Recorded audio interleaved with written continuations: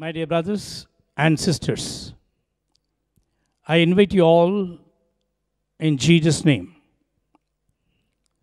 Today, people have money, people have education, people have many things what they want, but they don't have the real joy, real peace, the real happiness.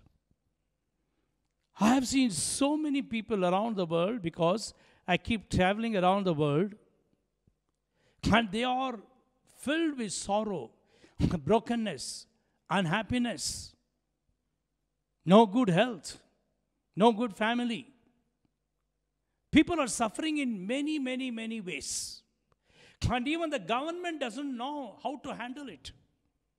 Many, many political party, when they come to power, they say, we will do this, we will do that. Even the government cannot do this. But Jesus Christ gave an offer to the whole world. You know what was that offer? We read in Matthew chapter 11, verse 28. Jesus said, All those who are with burden, with tears, sorrow, brokenness, unhappiness, sick, come unto me. I will give you rest. I will give you peace. I will give you joy. I will give you healing. Only Jesus has said this. Nobody else in this world has said this. Because only Jesus can do these kind of miracles. Jesus never said, only Christians come to me. No. Jesus never said, only educated people come to me. No. Jesus never said, only rich people come to me. No. Jesus never said, only good looking, handsome, and beautiful people come unto me. No. Jesus said, all those who are in tears, all those who are in broken, all those who are suffering, all those who feel like committing suicide because of depression, disappointment, discouragement, whatever the problem, whoever you are, come unto me. I will give you rest, peace, healing, deliverance. Yes, brothers and sisters, that is why today, even today, millions and millions and millions of people are running after Jesus Christ. Gospel of John, chapter 6, if you could read, thousands and thousands, could be in hundreds of thousands, they came in search of Jesus Christ. Because he was healing the sick, casting out the demons, and he was preaching the kingdom of God. So nobody had done that. And everybody was running after Jesus. So even till today, people are running after Jesus Christ. And after that verse, Matthew 11 28, Jesus said, Come unto me. And if you read Matthew 11 29, verse, one verse after that, you know, Jesus said, Learn from me. Brothers and sisters, Jesus was trying to tell you people are suffering, suffering, and suffering.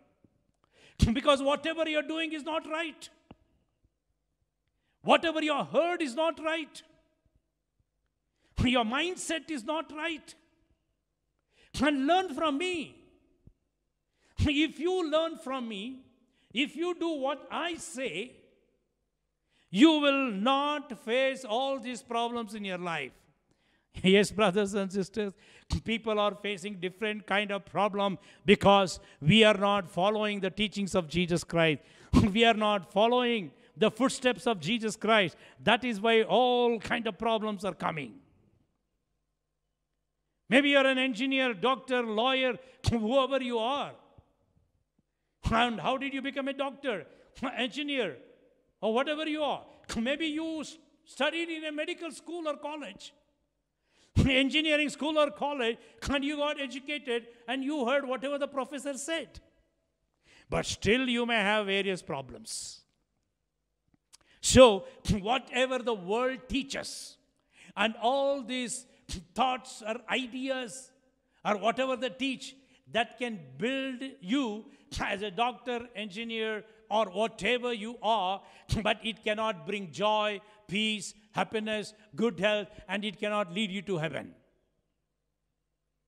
That's why Jesus said, Come unto me, learn from me. Why I need to learn from Jesus? Why you need to learn from Jesus? Because Jesus is the one who came from heaven.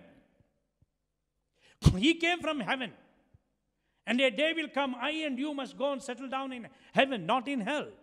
So only Jesus knows what is right and what is wrong. And the second point, if you read in Genesis chapter 1, verse 27, the Bible says God created human being, the first man, the first woman, Adam and Eve, in his own image, in the image of God. So, what is the image of God? Does God look like an Indian, American, African, a Chinese, a Russian? No. The image of God is this He is holy. He is holy. And He is holy. He is a supernatural power. No sin in Him, no bad habits in Him, no wickedness in Him. And He is filled with love, filled with kindness, filled with peace, filled with gentleness, filled with forgiving nature, filled with holiness. And that's the image Adam and Eve had. Brothers and sisters, unless and until you get back to the image of God, you'll be keep on suffering and I will be keep on suffering. because you are not designed to live the way world wants. You are designed by God to live the way God wants. I give an example. You take a water bottle and you can fill that bottle with warm water or cold water. You just try to fill boiling water into that water bottle. What happens? It melts. Or you pour concentrated nitric acid or some acid, the bottle, you know, melts. Because that bottle is not designed to hold acids or boiling water. the bottle is designed to have maybe warm water or cold water. In the same way, your brain and your heart, my brain and my heart is not designed to have the worldly things. My brain and my heart and my body and your body is designed to have the teachings of the Lord. When you walk in the footsteps of Jesus, I tell you, 90% of the problems will never come to you. Will not come. But people are suffering from various kind of problems in the personal life, family life, business life, or worldly life. If you want to stop those things, overcome that, Ephesians chapter 5, verse 1 says, Be ye imitators of God. But today we are not imitators of God. We are imitators of political leaders. We are imitators of film actor and actresses. We are imitators of some businessman. Or we are, we are imitators of some pop singer or a sports star. But the Bible says, be imitators of God. When you imitate God and His ways, 90% of the problem will never come to you. Because Isaiah chapter 48, verse 7 says, God says, I am the only one who can teach you, to guide you in the right way, where you can prosper in life, where you can have peace, joy, happiness, and good health. Only God can do that. This world cannot do that. Television program cannot do that. Internet program cannot do that. Only God can do that. That's what he says. Isaiah 48, verse 17. I am the Lord God who can teach you the right thing. I can guide you in the right way where you will prosper in life, where joy, peace, happiness, and righteousness will flow like river. But today, love, joy, peace, happiness is not flowing like river. Only sorrow, brokenness, unhappiness, hatred, anger, jealousy, All the nature of the devil is flowing like a river in everyone's life, in every country. But in Jeremiah chapter 29, verse 11, you know what the Lord said? I have a plan for you. Everyone in this world, for everyone in this world, God has a plan. But if that plan has to become real in your life, if God's plan has to become real in my life, I have to surrender my life to the Lord. I have to accept Jesus. I have to walk in His ways. Simply, you know, you will not be blessed because you believe in Jesus Christ. Many people say America is a land of opportunity. Land of opportunity.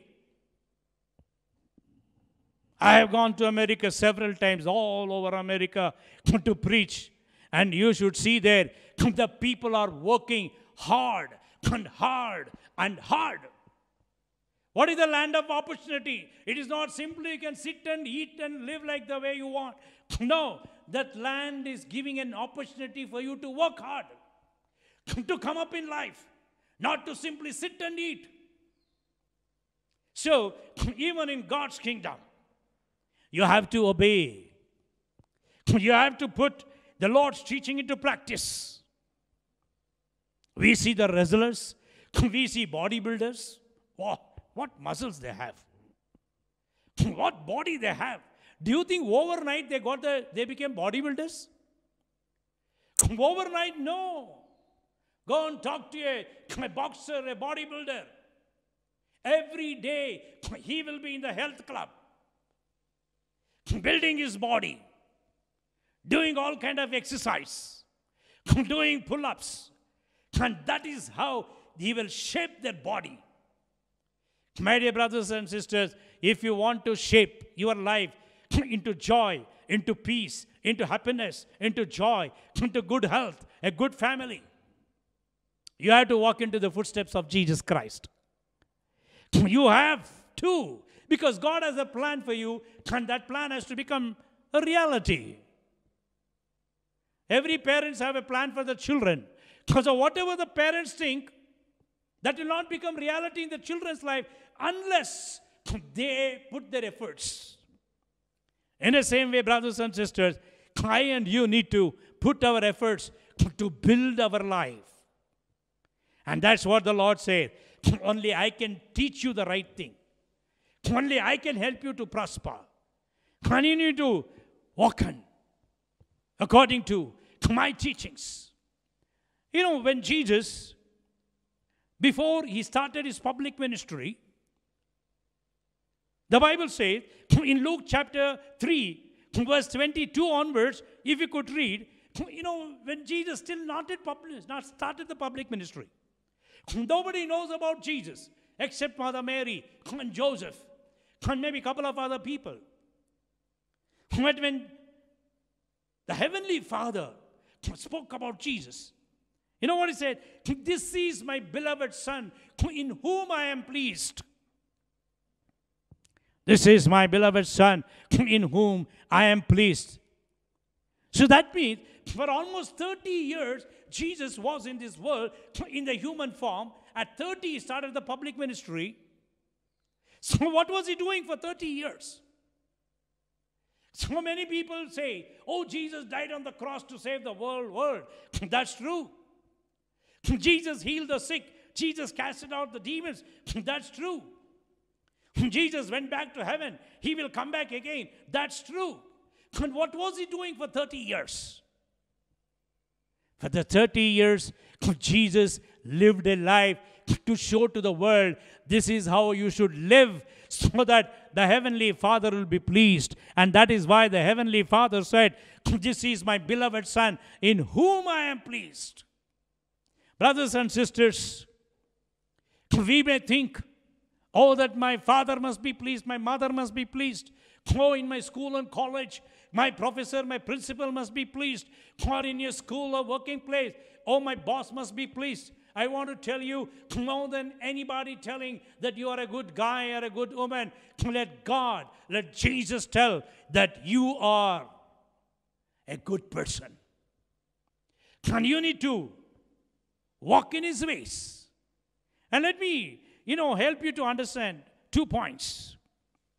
And now, I go back again, Matthew 11 29. Jesus said, Learn from me and take my yoke. Take my yoke. You know what is the yoke?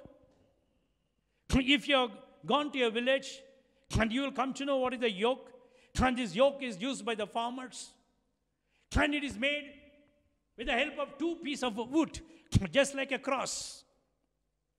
And the farmer will put one animal on the one side of the yoke and the other animal to the other side, and he will place this yoke on the neck of this animal and he will start plowing the field. My dear brothers and sisters. So Jesus said, Take my yoke. Or in other words, he's saying, Take my lifestyle. Take my lifestyle, the lifestyle of Jesus Christ. Today, many people are taking the lifestyle of film stars, lifestyle of political leaders, lifestyle of business people, lifestyle of pop singers, lifestyle of many, many unwanted people in this world. But Jesus is trying to say, take my yoke and take my lifestyle. That will be easy for you to handle so that you may not face any kind of problem. So, what is that? Taking the life style of Jesus or take the yoke of Jesus. Imagine you're married and you are one side of the yoke and you think the other side is your husband or wife but actually, one side of your life, you, and the other side must be Jesus. On one side, you, and the other side must be Jesus. It could be in your personal life, family life, business life, any life. Only then Jesus can help you to handle many, many problems what you cannot handle. So, Jesus is the pilot and you are the co pilot. So when the co pilot doesn't know how to manage, and you know, the main pilot, he will know.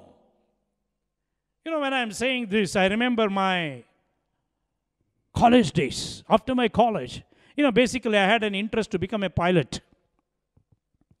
And I joined a flying club. And I got my license to fly small aircraft. And I wanted to become a commercial pilot, and I applied to become uh, applied for the license to get my commercial pilot license. For some reason, I could not get, and that was a disappointment in my life. That disappointment became an appointment with God. That's how today I am going around the world preaching. So before I got my license, the private pilot license, I was flying, and my pilot was next to me. And he was, you know, monitoring me whether I was flying okay. But there arose a situation where some problem in the engine, I do not know, and we started losing the height. It was coming down. I was so scared, I do not know what to do. And my pilot was looking at me. What I am going to do? I was so nervous, so scared, I did not know what to do. You know what my pilot did? He gave me one shot on my leg.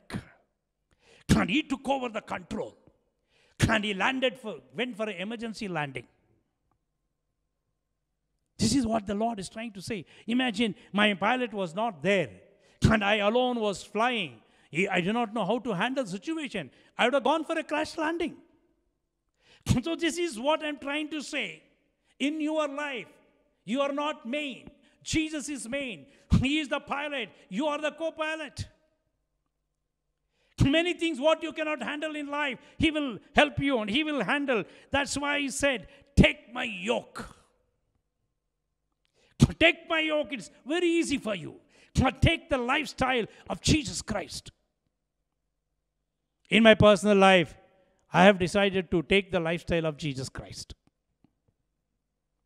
I have decided to follow the footprints of Jesus Christ. And thereby I have seen my life has become so easy.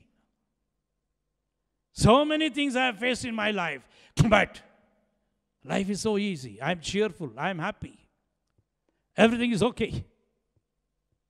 So, brothers and sisters, with two points I want to help you. Luke chapter 2, verse 51. What did Bible say? Jesus obeyed his parents. He obeyed Joseph and Mother Mary. What is the necessary that Jesus has to obey?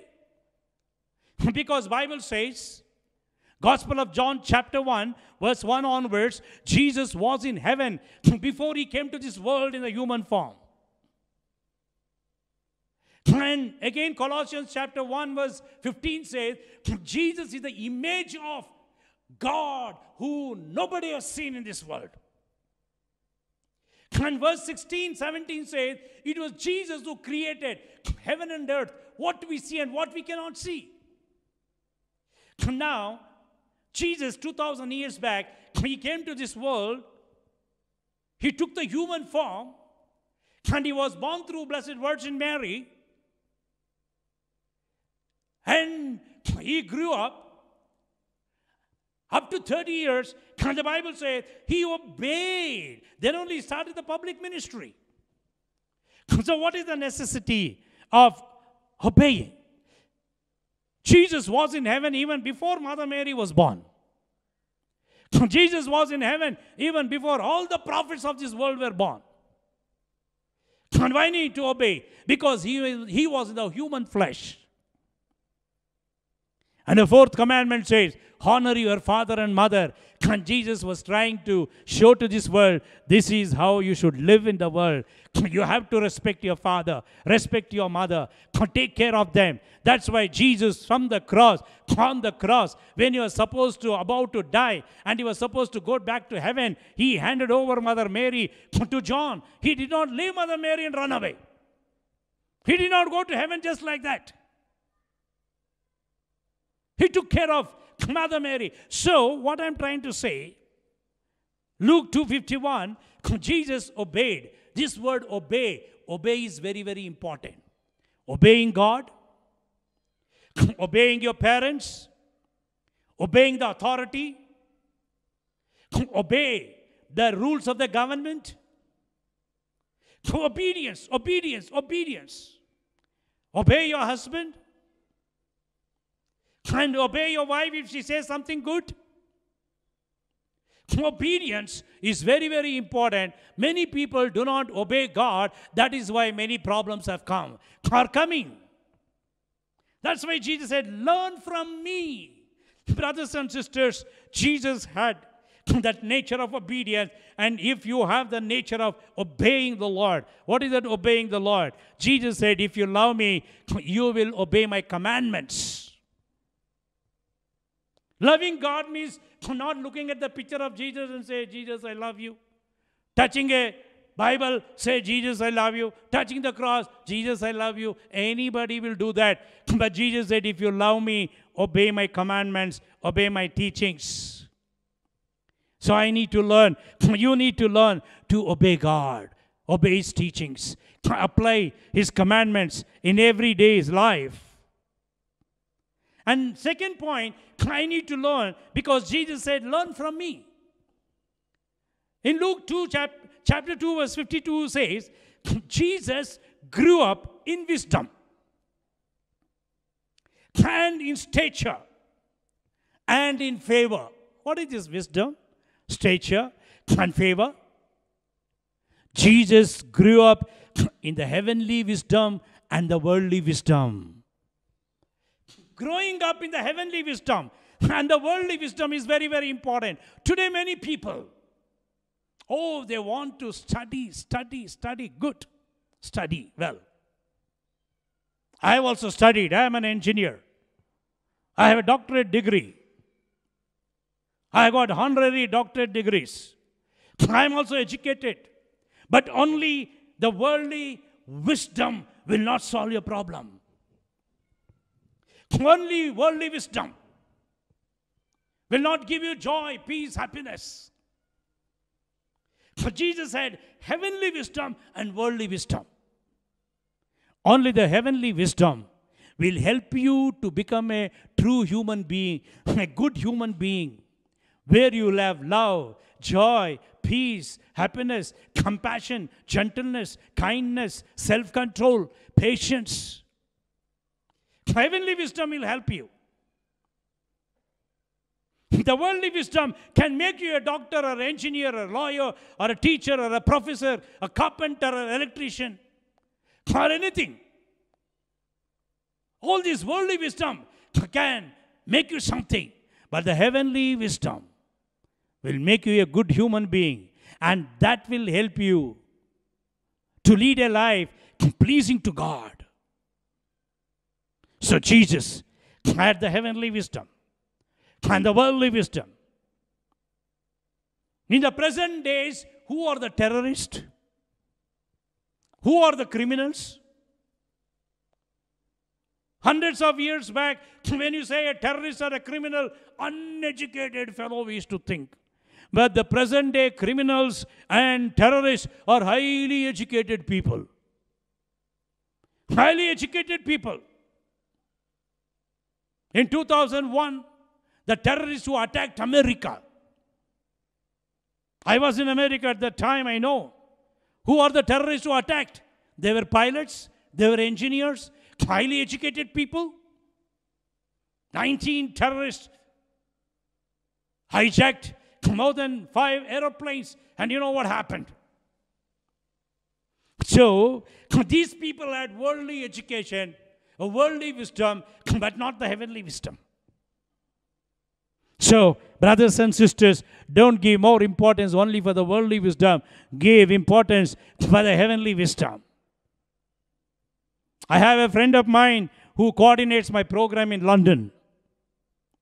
And he says, even if my children fail in the exam, I have no problem. But I want my children to grow up in the fear of God.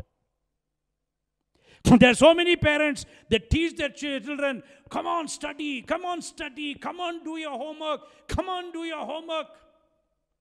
And they will send them to extra classes. Why? They must study well, come up in life. What about your children getting going back to heaven? What about your children raising up in the fear of God? And my friend in London, he says, I spend more time on my children in prayer and reading Bible and less time in their education because even if they're masters and having double degrees, they may live only 100 years in this world, but they have to live forever in heaven. So I'm preparing my children to be in heaven. Praise the Lord. Heavenly wisdom, worldly wisdom, and then stature good and good health and good habits. And you need to become a blessing to others. This is what Jesus said. Have you read in the Bible anywhere Jesus is to smoke, Jesus is to drink, and Jesus was using bad words, and Jesus was telling lies? Can you show one thing that Jesus was committing a sin? Jesus had bad words? Jesus used bad things? No. You can never. That's what stature means. Jesus was having good habit and he was in good health. Sometimes many bad habits can lead to bad health, sickness. Today, how many people who, though they believe in Jesus, they born in Christian families, Catholic families, but what kind of bad habits they have? They have become addict for smoking, or drugs, or drinks, or internet, or horrible things, or pornography, telling lies, getting angry, all negative emotions. No. Jesus never grew up like that. Jesus grew up with good habits and good health. If you're a follower of Jesus, you should be like this. And Jesus was a blessing to others. Are you a blessing to others? Are you a blessing to your own husband, your wife, your parents, your children, your brothers, your sisters, or anybody in this world? Are you a blessing or are you a problem? That's how Jesus grew up. We need to follow Jesus, not the world. We need to follow the lifestyle of Jesus, not the lifestyle of film actors, political leaders, or some business people. Because we have to live with Jesus forever and forever and forever. Forever. And the third point the Bible says is that Jesus grew up in favor of God, the Father, and in favor of people, pleasing to them. That's how the Heavenly Father said, This is my beloved Son, in whom I am pleased. Brothers and sisters, is your own husband pleased with you? Is your own wife pleased with you? Is your own parents pleased with you? Is your own children pleased with you? Is your own boss or where you're working or your principal or student, as a student, you may be in a college, a school. Are you leading a life pleasing to them? So you may be a blessing to somebody. Be a blessing to yourself. Be a blessing to others. If not, wherever you go, you'll be a problematic person. Problematic person. You know, when Mother Mary went to Elizabeth, Elizabeth was the mother of John the Baptist. She was an old lady, but she conceived. And John the Baptist was in the, in the womb, and Mother Mary runs to her house and greets her. And the moment she greets, she was filled with the Holy Spirit, and the baby, John the Baptist, in the womb, started jumping, maybe saying, Praise the Lord, I'm so happy. And Elizabeth greeted, and Mother Mary was filled with joy, and baby Jesus also leaped with joy. Look at the way they greet. that means even the words that you talk should bring blessing to others. the way you behave should bring blessing to others. There are so many people, the moment they open their mouth, it hurts people. It destroyed their thinking. Brothers and sisters, wherever Jesus went, he was only doing good and good and good and good. If you are a follower of Jesus Christ, follow Jesus. Don't become Jesus because you're born in a Catholic family or a Christian family. You should be a follower of Jesus Christ. Maybe just for you to show to the world that you are a Christian, maybe you're wearing a cross. Just if you wear a cross as a dollar or in your neck, it doesn't mean that you become a Christian. Imagine a monkey is going there or a donkey is going there. I go and put a cross to that monkey or donkey. Can that monkey become a Christian monkey?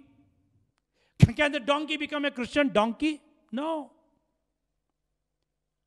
If you are a follower of Jesus Christ, Jesus said, Learn from me, take my yoke, and have my lifestyle.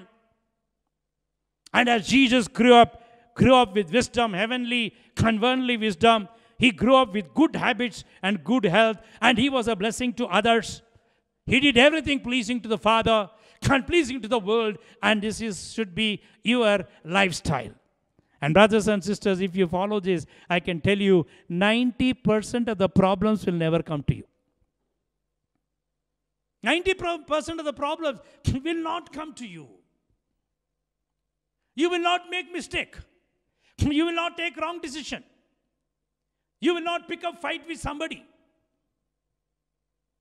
So you need to hold on to the teachings of Jesus Christ. That's why Jesus said, Learn from me. One day when I was preaching in some place, a person came. He's an anti Christian element. You know who are the anti Christian elements? And these anti Christian elements are those who don't like Jesus, don't like Christian, don't like pastors or priests or preachers. And they will create so much of problem for them. And we know this happening in many countries. And these are the anti Christian element, motivated by evil powers. And such one man, once he came, and he started shouting at me, using all kind of words. And I do not know how to react with this guy now. And he shouted, he used all kind of words. I was just looking at him and smiling and smiling and smiling. The more I smiled, he was getting angry. The more he was getting angry, the more I was smiling at him. How long a person can shout? There's a limit, maybe one minute, two minutes, five minutes, ten minutes. So I was just looking at him and smiling, let him shout whatever he want. Let me not react. You know, one thing why I did not react. I also know how to react like him. If I react, there'll be no difference between him and me. Point one. If a dog is shouting on the road, barking on the road, even you also can bark and scream and shout. Then you'll be no difference between you and the dog. And this man was shouting, screaming. Then he cooled down. And I asked him, Have you finished shouting? I said, Thank you. And I just left the place. He came behind me and said, What? I'm screaming and shouting, you're keeping quiet and smiling. Why you were smiling? Tell me that. Look at this fellow. I'm keeping my mouth shut. For that also is getting angry. When I'm going, he's getting angry. Now tell me why you did not react. You were smiling. Then I told him, Do you want to know why I was smiling? He said, Yes. You know, he was holding something in his hand, a bag or something. Let me take, I'll take my Bible. he was not holding the Bible, something. I said, What is that you're holding? He said, This is my bag. To whom it belongs? He said, It's mine. I said, Can you give it for one minute? Let me hold this. Can you give it? And he gave it. And I was holding like this. He said, To whom it belongs now? He said, That bag was mine, but I gave it to you. Since you are holding down, that belongs to you. I said, Very good. I gave it back to him. Please take it. He took it. And then I asked him to whom it belongs. Oh, you gave it back, so it belongs to me. I said, That's true, correct. I said, Can you give it again? And he was trying to give, I was not taking it. He's giving, I was not taking it. He's giving, I was not taking. I was rejecting that. And then I asked him, To whom it belongs now? He said, I was giving and giving and I giving. You did not take it. So it is with me and it belongs to me. I said, Very correct. And now I told him, Now you know why I was smiling? You were screaming and screaming and screaming, using all kind of words. I did not take it into my mind or to my heart. So whatever you said, it belongs only to you. So I'm smiling. I'm happy. I'm, uh, dis- I'm not disturbed. See you bye. I went away. And again he came back. He said, I shouted and screamed at you, but you taught a good lesson to me. Now I know who are the real Christians and false Christians. If a real Christian who follows Jesus Christ, as Jesus did good, they will do good. Now I learned a lesson from you. Praise the Lord. Yes, brothers and sisters, let us learn from Jesus. Let us take the yoke of Jesus. Let us have the lifestyle of Jesus. And let us lead a peaceful, happy, healthy life. I give you one or two examples. You read in Matthew chapter 19, verse 16, there was a rich man. His heart was upon the riches. Oh, he had lot of money, property, gold, lot of riches. You know, one day he went to Jesus and asked, Jesus, what should I do to inherit the eternal life? Jesus said, Give away to all your riches to the poor and follow me. Now, this guy is looking at the riches, his money, his gold, property, and Jesus. Now, his heart and mind was upon the riches, not upon God, not upon heaven. And he refused to go behind Jesus because his world, his money, his property was very, very important. Jesus was trying to understand my dear, you may have so many things. A day will come, you will die. Not even one rupee, one dollar, one pound will come behind you. You have to prepare yourself for God's kingdom. So that man was worldly. So, brothers and sisters, Jesus left this world and went back to heaven. We all know that. Acts chapter 1, verse 9, you will come to know Jesus went back to heaven. Of course, he's going to come back again to judge the world. So be heaven minded, above, spiritual minded, not worldly minded. You may need the comforts of this world, God will give you. But be spiritual minded person. What is the difference between a religious man and a spiritual man? Every religion has got religious rituals. In every religion, we will find religious people. What is the difference between religious people and spiritual people? As I told you, every religion has got some rituals. Everybody will perform the rituals. After finishing the rituals, they are in the world trying all kind of habits. Who is a spiritual man? A spiritual man is not satisfied with just rituals. He will have a direct contact between him and the Heavenly Father, Son Jesus, and the Holy Spirit. And his heart and mind will be upon heaven because he knows I'm not permanent in this world. One day I will go back to heaven. So be a spiritual person. That's why Jesus said, Learn from me. Take my yoke. Take my lifestyle. And I tell you one more example of a rich man from Luke chapter 16, verse 19 onwards. There was a rich man and a poor man. The poor man was outside his house, the rich man was enjoying his life with all his richness. Brothers and sisters, the day came, the rich man also died, a poor man also died. And what happened? The Bible says, rich man went to hell, the poor man went to heaven. Oh, what a difference is this?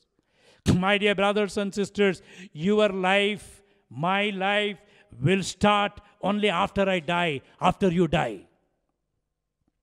Don't think that your life is the real life now. You may live for 50 or 100 years. That's not real. Your real life will start when I when you die, when I die. Look at this rich man, he died. He went to hell to live forever in hell. And the poor man died and he went to heaven to be in heaven forever. That's life. In this world, 50 to 100 years, we are only to prepare ourselves. That's why Jesus said, Learn from me, adopt my teachings, take my yoke, take my lifestyle, grow, the, grow up the way I grew up. And now, this rich man, he went to hell. Now he knows the value of life and he knows the suffering in hell. Oh, he's burning and burning in hell. Read Luke chapter 16, verse 19 onwards. And then you know what he does?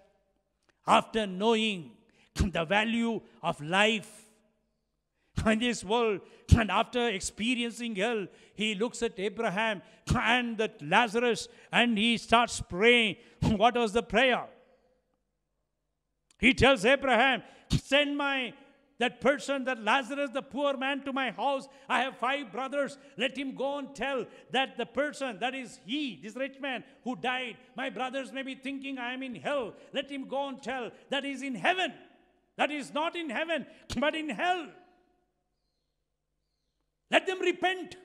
Let them confess. You know what Abraham said? Sorry, we cannot send Lazarus there. They have Moses and prophets. What is that? Moses and prophets. This Holy Bible is written. First five books by Moses, then prophets, then the apostles. So Abraham was saying, they have the Bible, let them read, let them listen, let them obey. That's what Jesus said. Learn from me. Take my yoke. You will not go to hell. Life in this world will be easy. So, brothers and sisters, from heaven, the voice is saying, read the Bible, adopt the teachings of Jesus in your life, lead a life pleasing to God and pleasing to the people. So let us transform ourselves in the days to come. Let us learn from Jesus Christ. And you will see a great joy, a great peace, a great happiness coming to your life. That's what Bible says in Romans 13, 14.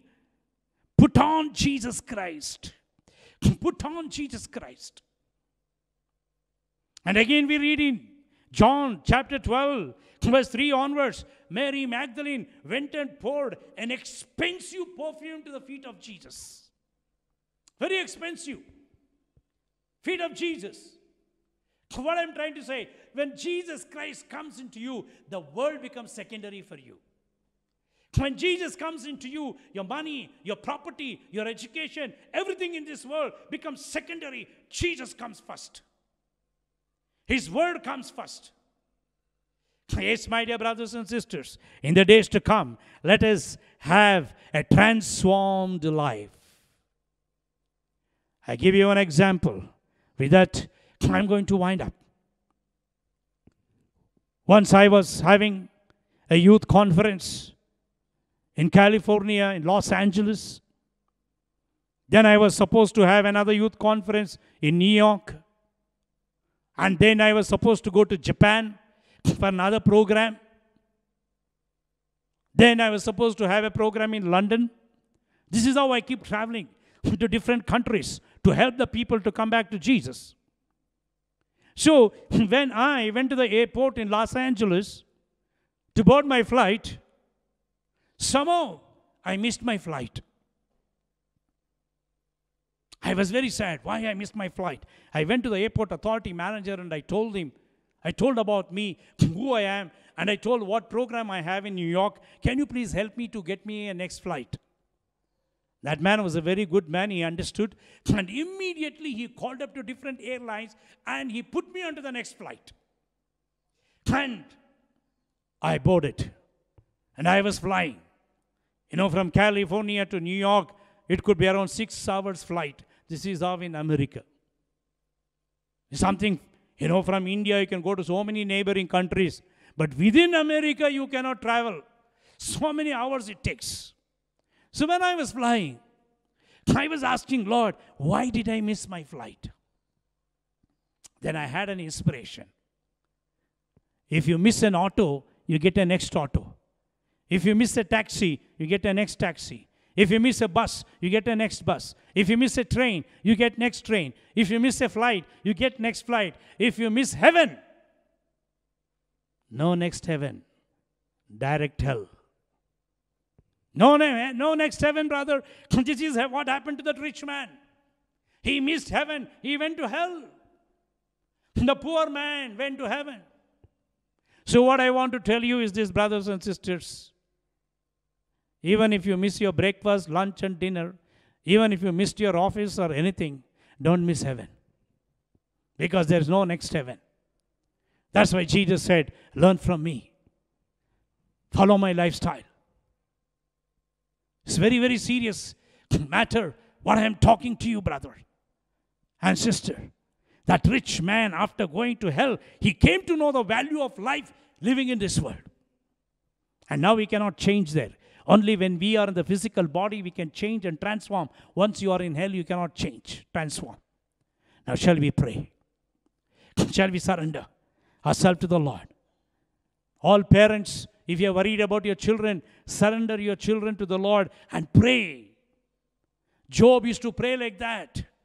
You read the book of Job, chapter 1, verse 5 to 10. Job had 10 children. Every day he was praying for his children asking pardon for the sins. Every parents pray for your children. Pray for their whatever the sins that they are committing, asking the Lord to fill them with the Holy Spirit. So let us transform. Let us pray for our family. Pray for the whole world so that we may learn from Jesus. Life can become uh, easy. Shall we all raise our hands and thank the Lord and worship the Lord? And as I pray, Thank you, Lord. Praise you, Lord. Hallelujah. Hallelujah. Hallelujah. Hallelujah. Hallelujah. Father, we praise you. Jesus, we praise you. Holy Spirit, we praise you. Praise you, praise you, praise you, Lord. We praise you. Father, we praise you. Jesus, we praise you. Holy Spirit, we praise you. Lord Jesus, for you have said, learn. We should learn from you. Because everyone is suffering in this world because they're learning from this world, learning from the medias, learning from the movies. But you said, Learn from me, take up my yoke. Lord, I pray, have mercy upon all the people, everyone who are listening to this talk. Please help them, Lord Jesus, to learn from you. In the name of Jesus, I pray. Let all the powers of darkness be destroyed in their life. Let the powers of darkness be destroyed in their life. If the devil has blinded the spiritual eyes, I pray, let the spiritual eyes be opened, Lord. Let them learn from you, Jesus. Let them follow in your footsteps. Anoint them with the power of the Holy Spirit. Wipe away the tears of sorrow and fill them with tears of joy. Take away their suffering and bless them. In Jesus' name I pray. If somebody is disturbed by evil power, by fear, fears of the demons, whatever the type of fear, bondages, curses, evil affliction, in Jesus' name, I set them free, Lord. I set them free. Somebody is suffering from sickness, in Jesus' name, I pray that let their sickness be healed right now. You are the healer. Heal them, Jesus. Please heal them. Heal them, Lord. All those who are having financial problem, who lost their job, lost in their business, bless them materially, Lord. Bless them financially, Lord. Bless them. Especially I pray for all the young boys and girls, Lord. They do not know what to do, where to go, what to adopt in their life. Please anoint all the young boys and girls of this world. Let them learn from you, Jesus. Every bad habits in them be destroyed by your power. Please help these young boys and girls. Bless the children, Lord. All these young boys and girls, if they're planning to get married, I pray you may bless them with the right life partner so that their married life may be a blessed one. Bless them, Lord. Bless all the people who are serving you. Be with them, guide them, protect them. In Jesus' name we pray. Heavenly Father, Amen.